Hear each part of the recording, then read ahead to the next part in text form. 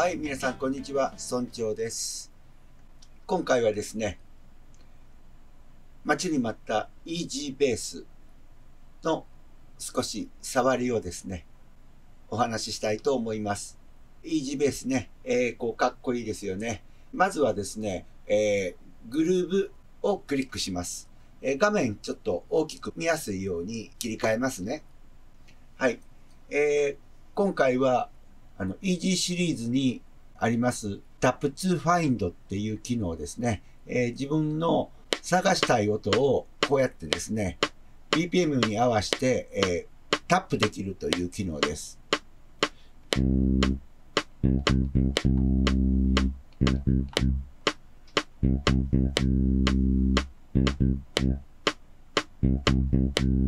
追加のリズムも入れれます。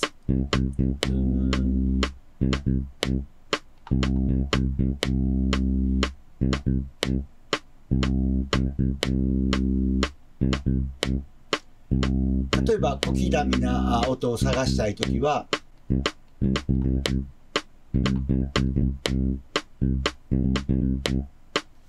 まあ、こんなようなイメージで、えー探してですね、えーファインドすると、それにどれぐらいマッチした音があるかということで、何パーセントというふうに、ここに表示されます。ちょっと聞いてみましょう。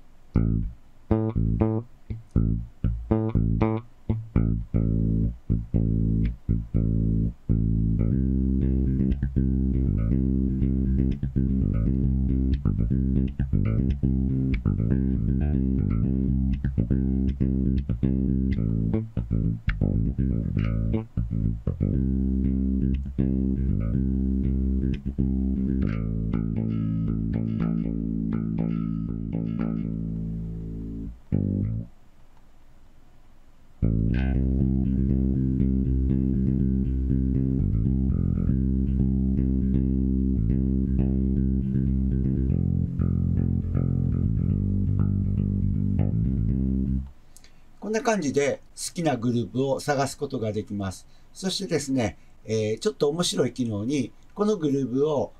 こちらのトラックの方に持ってきて、一番下3段あるんですけれども、一番下に入れるとですね、このグループだけがこういう風に表示されます。えーちょっと戻りまして、ドラッグするときに、この上の方に持ってくるとですね、こんな感じでバースト出てますけれども、まあ A メロ、B メロとかですね、そういうことを管理できるようになってまして、そしてここにはコードが並んでいるということですね。もう少しコードを大きく見てみます。はい。えそこで、えっと、コードをエディットできるわけですけれども、ダブルクリックしたら、あこのようにですね、えー表示が変わりますので、ここでコードを選択していきます。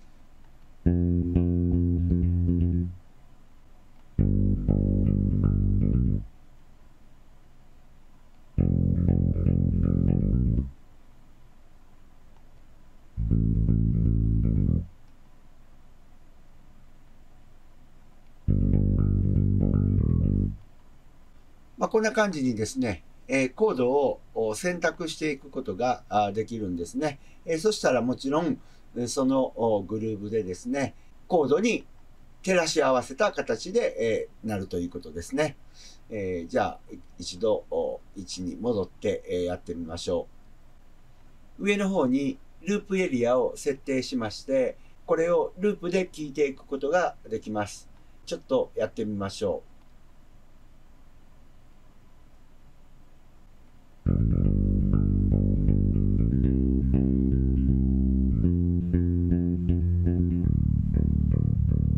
本来なら、ここからこのループをですね、ダウの方に持っていって、そして修正するとかいうことも、今までのソフトならそうなんですが、これにはですね、MIDI のピアノロールがついています。えーダブルクリックしてみます。そしたら、こんな感じでですね、MIDI の内容が見えるんですね。こういうふうにですね。そして、えーちょっと編集していきましょう。コントロールと矢印キーを押すことで、1音ずつこういう風に、まあ1音というよりも半音ですね、ずつ修正ができます。コントロールとシフトを押しながらだと、オクターブ上げることもできます。コントロールとマウスのスクロールボタンで横のスクロールができます。コントロールを押さないですると、譜面の音程が上下に動くわけです。そして、便利だなと思った機能は、スライドの機能などですね。例えば、こちらからこの音程にスライドをしたい。そういうふうに思いましたら、例えば、これ、この音符はちょっと削っておいてですね、えこれから、えここにスライドマークがありますので、こうするとスライドが作れるわけですね。こうやって動かして、そして、えもうちょっと後ろ、こうしときましょうか。こんな感じに、えー、スライドを作るのも超簡単にできます。えー、どんな感じになったか聞いてみましょう。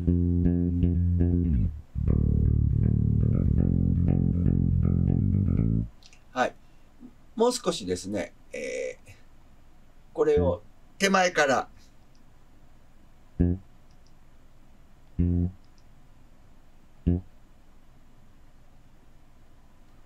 の辺からやってみましょ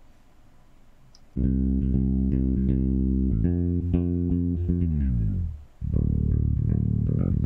便利ですね。